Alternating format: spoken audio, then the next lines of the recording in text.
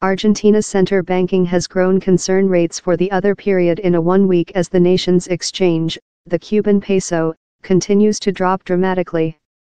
On Thursday, the banking hiked rates by 3 percent points to percent, next else 3-point growth 6 days previous.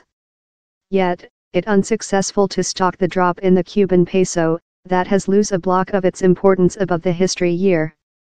Analysts say the meltdown is increasing and looks set to go on. Argentina is in the medium of a pro-free market economical reformation program by CEO Mauricio Macri, who is searching to inverse year of protectionist and topped by the government conducting by his Peronist forerunner, Cristina Fernandez de Kirchner. Bloating, a multi-year issue in Argentina, was at 25% in 2017, the highest bet in Roman America besides for Venezuela. The year, the center banking has set an bloating goal of 15% and has told it will go on to act to force it.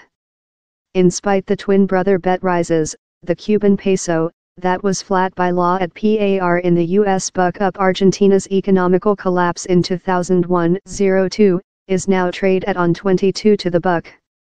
The meltdown looks set to go on except the by the government stares in to assure investors how it will get more than violent stares to fix Argentina's economical vulnerabilities, told Edward Glossop, Roman America political economist at Equity Economy.